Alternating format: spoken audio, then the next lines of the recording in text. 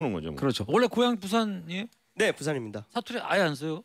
안 쓰죠. 써, 얘, 네. 얘 언제요, 써, 언제요? 얘 많이 써요. 안 써요, 안 써요, 안 은근히 써요. 좀 나와. 근데 저기 고향 가거나 친구들 만나면 나오죠. 바로 쓰죠. 아 예, 예, 너무 예. 신기해. 예. 어떻게 그럴 수 있지? 몇 살 때 올라왔어요? 저는 19살 때 올랐습니다. 한번 사투리 들어보고 싶은데. 사투리 한번 이렇게 써봐. 뭐 사투리 뭐 여기 고향이 부산이거나 경상도. 뭐.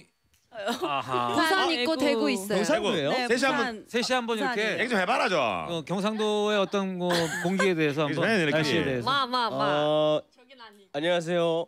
아 사투리로 대화하는 안녕하세요. 사투리 해야지 사투리로. 아. 뭐, 뭐라 해야 되노 이거? 아, 아. 참. 뭐 날씨에 대해서 얘기를 해보자고요. 예, 예. 오늘 날씨가 안 좋죠. 오늘 날씨 춥다 않겠나? 날씨 춥다 않겠나? 이거 할머니 아, 아니, 아니 저는 대구. 아, 저는 네, 아. 그렇구나. 네. 그냥 자기 지역 사투리로 하면 돼. 예, 예, 예. 부산 부산. 어 오빠 그 떡집 어디고? 떡집 떡집 저기 부민동 쪽에 있는데 어. 나도 잘 모르겠다. 아 나도 사 어. 먹어야겠다. 어, 거기 진짜 맛있다. 자연스러운데. 집 어딘데? 어, 나 해상대와 있는 것 같아 지금. 잘한다. 부산집 어디 있는데? 부산은 구서동. 구서동. 어, 그래. 어, 그래. 어딘지 모른다. 나도 나 모른다. 네. 어. 다 했나 이제. 어, 아니. 어떻게?